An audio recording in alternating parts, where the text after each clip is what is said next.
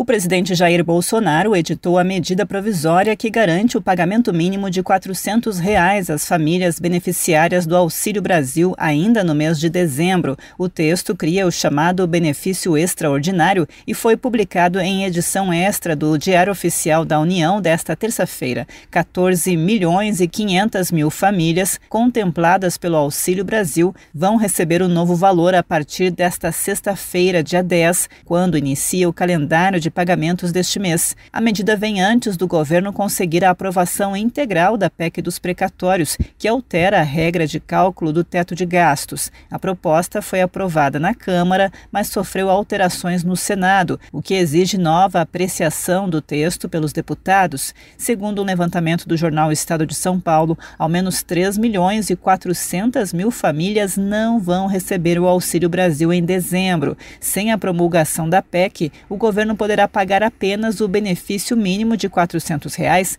para as 14 milhões e 500 famílias que já receberam o Auxílio Brasil em novembro e que eram beneficiárias do Bolsa Família antes da pandemia. Agência Rádio Web de Brasília, Alexandra Fiore.